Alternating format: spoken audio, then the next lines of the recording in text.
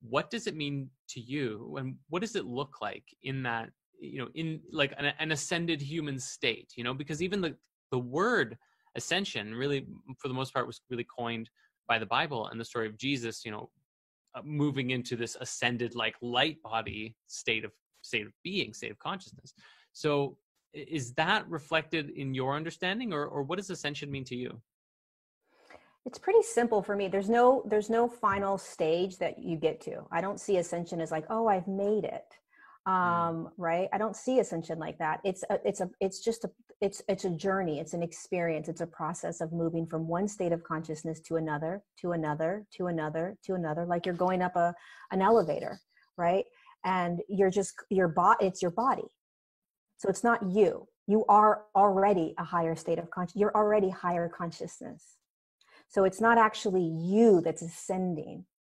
It's a physical body that is ascending and taking you into higher states of consciousness. So you, as a higher consciousness, get to experience lower states of consciousness from than you, but higher states of consciousness in every now, if that makes sense. So you drop in as a higher consciousness, you're in a physicality that's very dense, and ascension is the body continuing to hold higher frequencies allowing you the higher consciousness to be higher states of consciousness evolve on some sort of physical field in order to be higher states of consciousness. So you have access to more you get to tap into more things you get to all while you are in sort of physicality for quite some time. Like are will we eventually ascend into light bodies? Perhaps perhaps not right? Is a 5d physical body very different than this body? Absolutely but is it still form? Absolutely. Um time frame? Who knows when that like you know people like to call it like 5d whatever consciousness field whatever that is. Who knows when that will happen? But ascension to me is literally like i'm just walking upstairs. Like i'm just i'm just shifting frequencies and and that's it. And i have there's no destination. You know when you have a destination you're going to suffer. I got to get there. I got to get there. I got to get there. Where are you going? Right? Why are you going anywhere? You just be in the now.